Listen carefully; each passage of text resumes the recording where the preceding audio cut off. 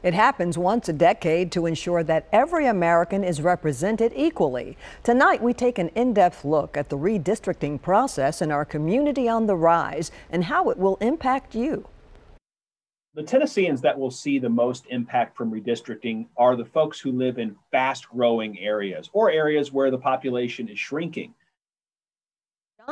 John Dunn is with the Tennessee Comptroller's Office, and he tells us with the major growth across the mid-state, thousands of people will be impacted. This means you could see a change in your voter precinct or end up with a different county commissioner, council member, or alderman representing you. Lines will be shifted and redrawn based on population change, something our booming counties have experienced a lot of.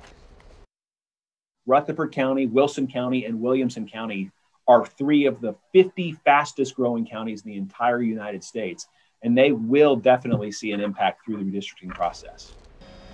Due to a pandemic backlog, the county level census data won't be given to Tennessee until September, which only leaves a few months for redistricting to happen ahead of the January 1st deadline.